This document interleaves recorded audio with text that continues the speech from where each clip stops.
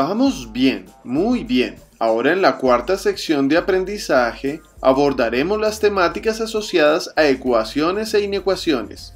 El objetivo es solucionar de manera efectiva situaciones que modelan los sistemas de ecuaciones lineales.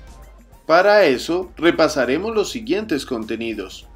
Ecuación lineal, ecuación cuadrática, sistemas de ecuaciones, inecuación lineal, inecuación cuadrática, al final esperamos que pueda solucionar situaciones problema del contexto real haciendo uso de las ecuaciones e inecuaciones a partir del cuestionario de dos intentos y la evaluación final de cierre.